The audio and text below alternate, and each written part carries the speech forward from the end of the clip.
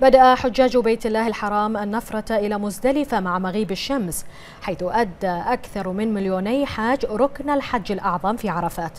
هذا وصعد حجاج بيت الله الحرام إلى عرفات اليوم لأداء الركن الرئيسي في الحج وسط استعدادات كاملة لنفرتهم.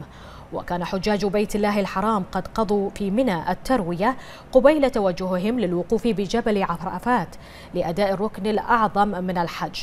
وبدأ ضيوف الرحمن التوافد على عرفات في الوقت الذي أعدت فيه قيادة أمن الحج خطة متكاملة لتسهيل عملية التصعيد وتتضافر جهود مختلف الجهات المعنية بأعمال الحج لهذا العام وسط منظومة من الخدمات الأمنية والصحية والتنظيمية بما يسهم في انسيابية حركة جموع الحجيج وسلامة استقرارهم. حيث هيأت وزارة الصحة السعودية أربعة مستشفيات موزعة في أرجاء المشعر. إلى جانب 46 مركزا صحيا جهزت بكامل مستلزماتها يباشرها فرق طبية بمختلف التخصصات.